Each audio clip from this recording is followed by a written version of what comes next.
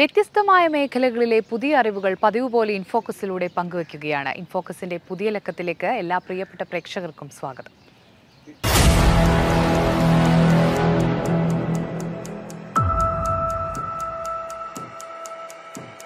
ഇൻഫോക്കസിൽ പതിവ് പോലെ ഒരു പുതിയ സാമ്പത്തിക വിഷയവുമായി നമ്മോടൊപ്പം ഉള്ളത് പ്രമുഖ സാമ്പത്തിക വിദഗ്ധനും ബഡ്ജി ജിയോജിത് ഫിനാൻഷ്യൽ സർവീസസ് ഫൗണ്ടറുമായ കെ വി ഷംസുദ്ദീൻ നാം ഇന്ന് സംസാരിക്കുന്ന വിഷയം ലിസ്റ്റ് ചെയ്യപ്പെടാത്ത പബ്ലിക് ലിമിറ്റഡ് കമ്പനികൾ ഡിമാറ്റ് ചെയ്യപ്പെടേണ്ടതുണ്ടോ എന്നതിനെക്കുറിച്ചാണ്.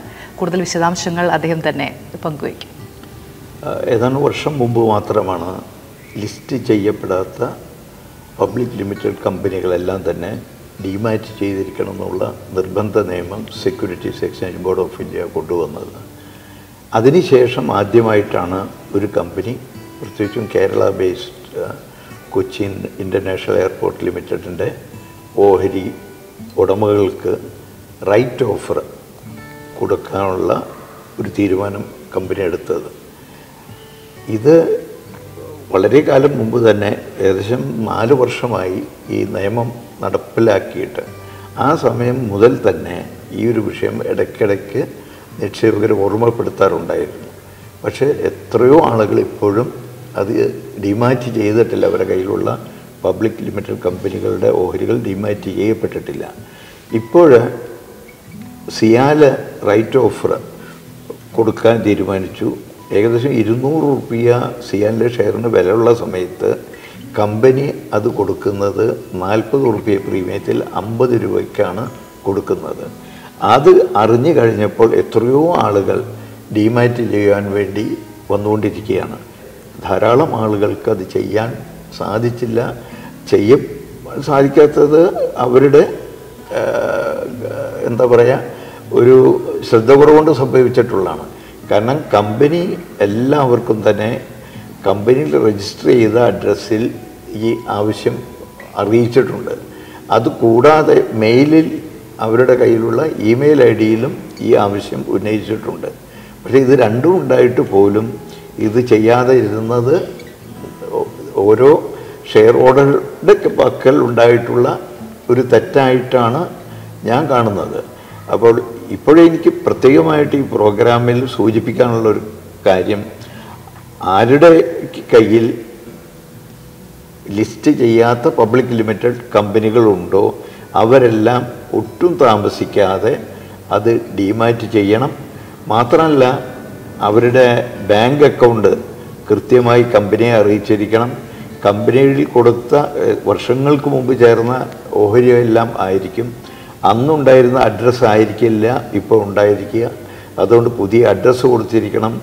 ഇമെയിൽ ഐ ഡി പുതിയത് കൊടുത്തിരിക്കണം പണ്ടെല്ലാം ആളുകൾ ഹോട്ട്മെയിലെല്ലാം ഉപയോഗിച്ചിരുന്നതാണ്. ഇപ്പോഴ അതിന് പകരം അധിക ആളുകളും ജിമെയിലോ അല്ലെ കമ്പനിയുടെ സ്വന്തം കമ്പനിയുടെ മെയിൽ ഐ ഡി എല്ലാമാണ് കൊടുക്കുന്നത്. പക്ഷെ അതെല്ലാം ചെയ്തില്ലെങ്കിൽ അതുകൂടെ വളരെ ദൂഷ്യം സംഭവിക്കും.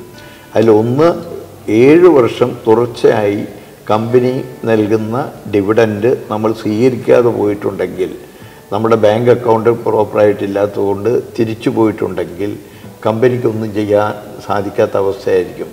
കമ്പനിക്ക് ചിലപ്പോൾ കമ്മ്യൂണിക്കേറ്റ് ചെയ്യാനും സാധിക്കുന്നുണ്ടാവില്ല. കാരണം അഡ്രസ്സ് മാറിയിട്ടുണ്ടാവും അതുകൊണ്ട്. അപ്പോൾ ഏഴ് വർഷം തുടർച്ചയായി ഡിവിഡൻഡ് സ്വീകരിക്കപ്പെട്ടില്ലെങ്കിൽ നമ്മുടെ ഷെയർസ് നമ്മുടെ കയ്യിലുള്ള ഷെയർസും അതുപോലെ ഡിവിഡന്റും എല്ലാം തന്നെ സെൻട്രൽ ഗവൺമെന്റിന്റെ ഇൻവെസ്റ്റ് എഡ്യൂക്കേഷൻ ട്രസ്റ്റിലേക്ക് മാറിപ്പോകും. അത് മാറിക്കഴിഞ്ഞാൽ നമുക്ക് ആ ഷെയർസ് തിരിച്ചു കിട്ടാനുള്ള ഒരു ഹെർക്കുലിയൻ ടാസ്ക് തന്നെ വേണ്ടി വരും. ധാരാളം പേപ്പർ വർക്കുണ്ട് അതിന് കുറേ സമയം ചിലവാക്കേണ്ടതുണ്ട്. അപ്പോൾ അങ്ങനെയുള്ള ഒരു അവസ്ഥാവിശേഷം ഉണ്ടാവാതിരിക്കാൻ പ്രത്യേകം ശ്രദ്ധിക്കണം. കേരളത്തിൽ തന്നെ പല ചാനലുകളും ടി വി ചാനലുകളും പബ്ലിക് ലിമിറ്റഡ് കമ്പനിയായിട്ട് ആളുകൾ ജോയിൻ ചെയ്തിട്ടുള്ളതാണ്. അതുപോലെ കൊച്ചി ബേസ്ഡായിട്ടുള്ള ഫാൾക്കൺ ഇൻഫ്രാസ്ട്രക്ചർ എന്ന് പറഞ്ഞൊരു കമ്പനിയുണ്ട്. അത് പബ്ലിക് ലിമിറ്റഡ് കമ്പനിയാണ്. പല ഹോട്ടലുകൾ റിസോർട്ടുകളുണ്ട് പബ്ലിക് ലിമിറ്റഡ് കമ്പനിയായിട്ടുള്ളത്. അപ്പോൾ ഏതെല്ലാം കം പബ്ലിക് ലിമിറ്റഡ് ലിസ്റ്റ് ചെയ്യാത്ത കമ്പനിയിൽ ഓഹരി എടുത്തിട്ടുണ്ടോ? നിർബന്ധമായും നമ്മൾ അത് ഡിമാറ്റ് ചെയ്തിരിക്കണം. അത് കൂടാതെ തന്നെ ലിസ്റ്റ് ചെയ്ത കമ്പനികളുടെ പല ആളുകളും ഇപ്പോൾ എത്രയോ വർഷങ്ങളായി ഒരു രണ്ടായിരത്തി ഏകദേശം ഇരുപത് വർഷമായി ഷെയർസ് ഡിമാറ്റ് ചെയ്യൽ തുടങ്ങിയിട്ട്. എന്നിട്ട് പോലും ഇപ്പോഴും ഡിമാറ്റ് ചെയ്യാത്ത ധാരാളം ആളുകൾ ഉണ്ട്. അപ്പോൾ ആ ഒരു അവസ്ഥ ഉണ്ടാവരുത്. കയ്യിൽ ഓഹരികൾ ഉണ്ടെങ്കിൽ തീർച്ചയായും അത് ഡിമാറ്റ് ചെയ്തിരിക്കണം. അത് ലിസ്റ്റ് ചെയ്തതാണെങ്കിലും ലിസ്റ്റ് ചെയ്യാത്തതാണെങ്കിലും ചെയ്തിരിക്കണം എന്നാണ് പ്രത്യേകമായിട്ട് നിക്ഷേപകരോടെല്ലാം ഓർമ്മിപ്പിക്കാനുള്ളത്. ഇനി മറ്റൊരു കാര്യം കൂടെ ഈ സന്ദർഭത്തിൽ സൂചിപ്പിക്കാനുള്ളത്. ധാരാളം ആളുകൾ യു എയിലും സൗദി അറേബ്യയിലും ഉള്ള ആളുകൾ ആ, നാട്ടിലെ ഓഹരികയിൽ ഐ പി ഒ പങ്കാളികളാവുന്നുണ്ട്. ഇങ്ങനെയുള്ള ആളുകൾ പ്രതീക്ഷിക്കുന്നത് ഈ ഓഹരികൾക്ക് വില കൂടിയാൽ വിൽക്കാം അപ്പോൾ ലാഭമുണ്ടാകും എന്നുള്ള പ്രതീക്ഷയിൽ തന്നെയാണ്. അങ്ങനെ ഈയിടെ കഴിഞ്ഞ വർഷവും ഈ വർഷവും ചേർന്നിട്ടുള്ള പല ഓഹരികളും വളരെ അപ്രീഷിയേറ്റ് ചെയ്ത ഒരു സാഹചര്യമാണ് നമ്മൾ കാണുന്നത്.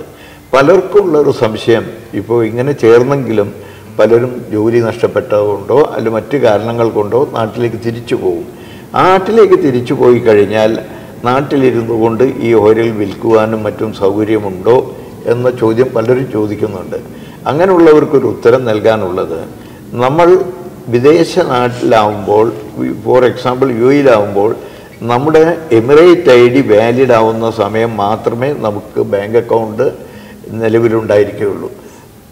നമ്മുടെ എമിറേറ്റ് ഐ ഡി ലാപ്സ് ആയി കഴിഞ്ഞാൽ അല്ലെങ്കിൽ ക്യാൻസലായി കഴിഞ്ഞാൽ അതിനോടൊപ്പം ആ ബാങ്ക് അക്കൗണ്ട് സീസ് ചെയ്യുകയാണ് ചെയ്യുന്നത്. അങ്ങനെയുള്ള അവസ്ഥ വന്നു കഴിഞ്ഞാൽ പിന്നെ അതിൽ ക്രയവിക്രയങ്ങളൊന്നും നടക്കില്ല. അപ്പോൾ ഓഹരി വിറ്റാൽ തന്നെ ആ സമയത്ത് പണം നമ്മുടെ ബാങ്ക് അക്കൗണ്ടിലേക്ക് വരണമെങ്കിൽ ആ ബാങ്ക് അക്കൗണ്ട് വാലിഡ് ആയിട്ടുള്ള ബാങ്ക് അക്കൗണ്ട് ആയിരിക്കണം.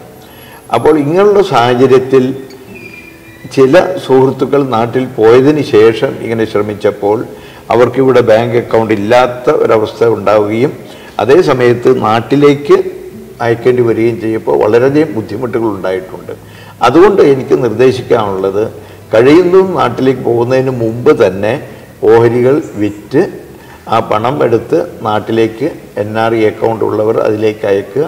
അല്ലെങ്കിൽ നാട്ടിലേക്ക് ഏത് അക്കൗണ്ടാണ് ഉള്ളത് അതിലേക്ക് അയക്കലാണ് നല്ലത് എന്നാണ് എനിക്ക് നിർദ്ദേശിക്കാനുള്ളത്. അതുകൊണ്ട് ഈ കാര്യം പ്രവാസികളായി ഈ വിദേശ നാടുകളിലുള്ള ഓഹരികൾ വാങ്ങിക്കുന്നവരെല്ലാം ഇത് പ്രത്യേകം ശ്രദ്ധിക്കണമെന്ന് അപേക്ഷിച്ചുകൊണ്ട് നിർത്തുന്നു. നമുക്ക് സമയമായിട്ടുണ്ട്. എല്ലാവർക്കും നന്ദി നമസ്കാരം.